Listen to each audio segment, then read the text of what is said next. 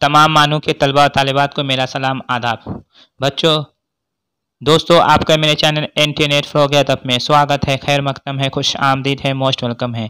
आज मैं आपके सामने Maulana Azad national Urdu university distance education subject communicative English assignment problem with solution. B S second year दो हज़ार बीस इक्कीस का असाइनमेंट लेकर हाजिर हूँ। ये असाइनमेंट थ्री है। इससे पहले मैंने असाइनमेंट वन, असाइनमेंट टू और बना दिया है।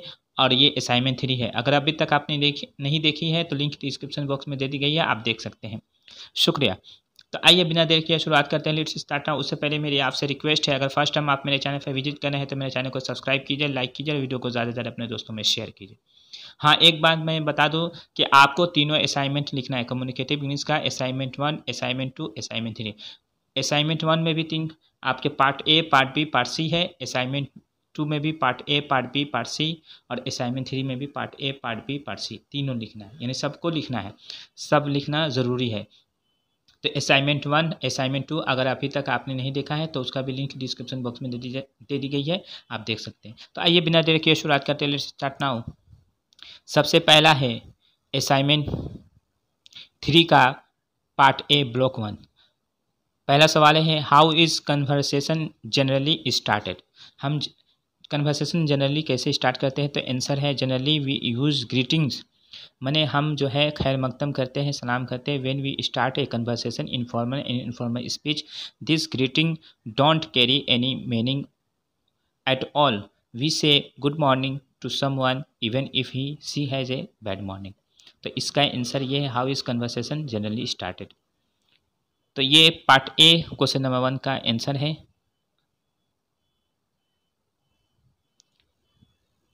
अब क्वेश्चन नंबर टू है give one example of formal introduction formal introduction हम कैसे उसका एक एग्ज़ाम्पल देना है? तो आंसर है while making a formal introduction we usually introduce one person to another by saying I would like to introduce doctor Sameer he is a physician answer दे दिया for example if you have to introduce professor Siddique Ahmad you would be say meet professor Ahmad similarly Amjad would be introduce as I I would like to meet mister Khan यहाँ mister Khan होना चाहिए। क्या होगा? Mister Khan तो इसका give one example of introduction तो answer आपका यहाँ पे है। आप देख सकते हैं, ये भी दो नंबर का है। आपको लिखना है, नहीं आंसर क्वेश्चन नंबर थ्री है give some common situation for thanking others यानी कॉमन सिचुएशन आपको बताएँ, जब दूसरे का हम हम शुक्रिया अदा करते हैं तो आंसर है we thank someone for an invitation मैंने दावत के वक्त में हम इनविटेशन करते हैं इनविटेशन किसी को करते हैं तो उस वक्त थैंक करते हैं वेदर या नॉट वी एक्सेप्ट इट अगर वो एक्सेप्ट करे या ना करे उससे कोई मतलब नहीं है, लेकिन हम लोग शुक्रिया अदा it is polite to thank someone who is invites you to lunch या टू ए पार्टी लंच के लिए या पार्टी के लिए? अगर दावत देता है तो उसके लिए भी हम शुक्रिया अदा करते हैं। We also thank someone who offers to help us whether we accept this accept his help या रिफ्यूज़ इट पोलाइटली या वो मेरी मदद करे या उसको इनकार कर दे माजत कर ले तो उस वक्त भी हम जो है थैंक्स करते हैं। ठीक है? तो give some common situation some common situation for thanking others तो ये है कॉमन सिचुएशन जो मैंने आपको बता दिया, ये भी दो नंबर का आंसर है, आप लिख सकते हैं। क्वेश्चन नंबर फोर है mention two reason for apologising माजरतनामा के दो रीज़न बताइए। तो आंसर है there are many formal and informal situation that require an apology we usually apologise for being impolite यानी अगर हम रूडली हो गए तो उस वक्त हम माजरत करते हैं या डैमेजिंग अदर पर्सन यानी किसी शख्स को हम बर्बाद कर रहे हैं या किसी चीज़ को बर्बाद कर रहे हैं तो उस वक्त भी हम माजरत करते हैं। तो ये दो दो रीज़न है अप्रोजाइजिंग का। ये भी दो नंबर का है, आप लिख सकते हैं। उसके बाद है आपका पाँच नंबर का क्वेश्चन है what do what do we normally use हम आम तौर पे क्या करते हैं? When we want to attract यानी किसी का अटेंशन जो है अपनी तरफ़ खींचते हैं तो कैसे, हम क्या करते हैं नॉर्मली तो आंसर है we normally use gestures when we want to get someone हम जो है इशारा करते हैं। नॉर्मली आमतौर पर इशारा करते हैं when want to get someone attention यानी किसी का तवज्जो को अपनी तरफ़ खींचते हैं, अपने तरफ़ रागिब करते हैं तो हम क्या कहते हैं? इशारा करते हैं but in formal situation we have to use certain expression so that we are polite usually say excuse me informal hi या हाय यू यस तो ये आपका जो है पाँच नंबर का, पाँच नंबर क्वेश्चन का आंसर है। ये भी दो नंबर का है, आप लिख सकते हैं। अब हम जो है पार्ट पार्ट बी यानी ब्लॉक टू को सॉल्व करेंगे। तो fill in the blanks following the instruction given यानी जो इंस्ट्रक्शन दिया गया, उसके मुताबिक हमको फिल इन द ब्लैंक्स को भरना है।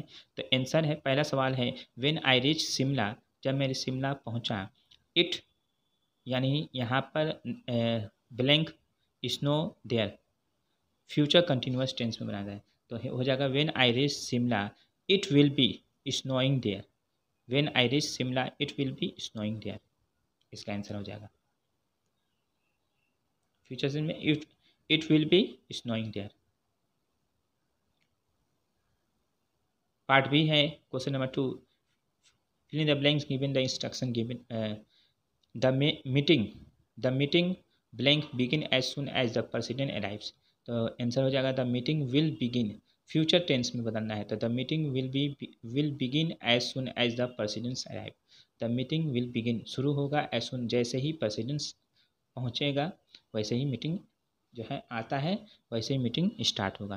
तो the meeting will begin as soon as the president arrives. Question number three है, वेयर वेयर, खाली जगह, वी हॉल्ट अ मीटिंग। तो सिंपल फ्यूचर टेंस में तो where shall we hold the meeting where से shall we hold the meeting इसका answer हो जाएगा। यहाँ पर ब्लैंक में शेल भरा जाएगा। Where shall we hold the meeting simple future tense में इसको बदलना है।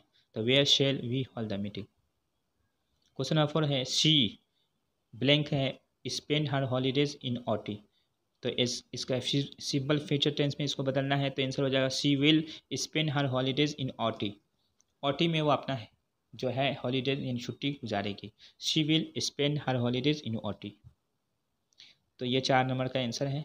पाँच नंबर है Ajay blank not do as he told simple future tense में बताता Ajay will not do as told Ajay will not do as told इसका आंसर हो जाएगा ये भी सिंपल फ्यूचर टेंस में बदलना है तो Ajay will not do as told तो यहाँ ब्लैंक की जगह पर आप क्या कर दीजिएगा विल इस्तेमाल कीजिएगा।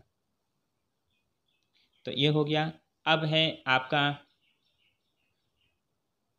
क्वेश्चन नंबर थ्री है write the question of the following sentence ये देखिए क्वेश्चन टेग टेग लगाना है। सी इज़ माई सिस्टर तो इसमें क्वेश्चन टेग में अगर बदलेंगे तो क्या हो जाएगा answer is not she is not she इसको क्वेश्चन टेग लगाएँगे तो क्या हो जाएगा? सी इज़ माई सिस्टर तो इज़ आंसर हो जाएगा इज़ नॉट सी क्या वो मेरी बहन नहीं है?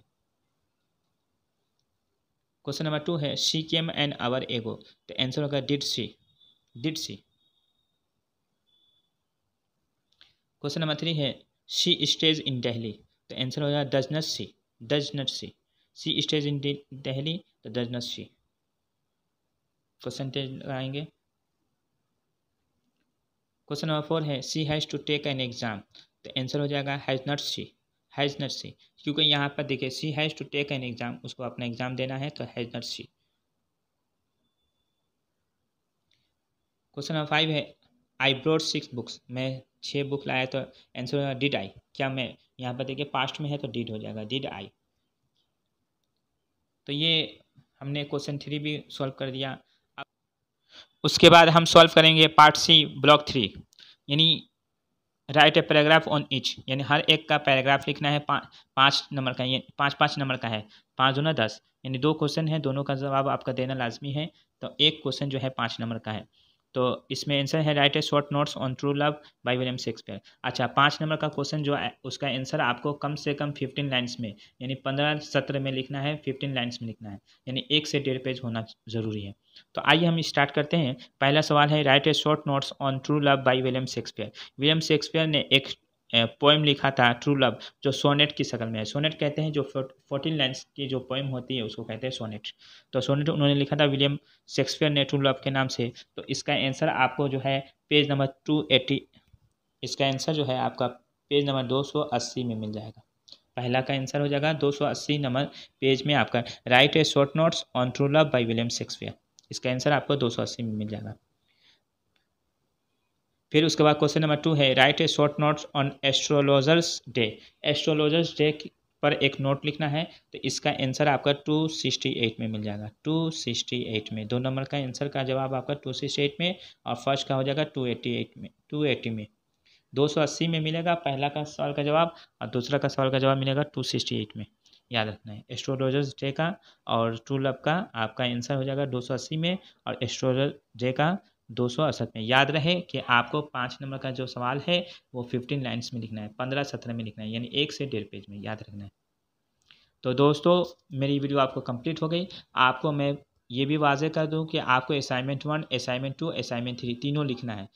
कम्युनिकेटिव इंग्लिश का assignment one assignment two assignment three यानी हर असाइनमेंट जो है, आपका तीन पार्ट पे है part one part part B part C चलिए तो दोस्तों मेरी वीडियो आपको कैसी लगे? अच्छी लगे तो चैनल को सब्सक्राइब कीजिए, लाइक कीजिए वीडियो को ज़्यादा से ज़्यादा अपने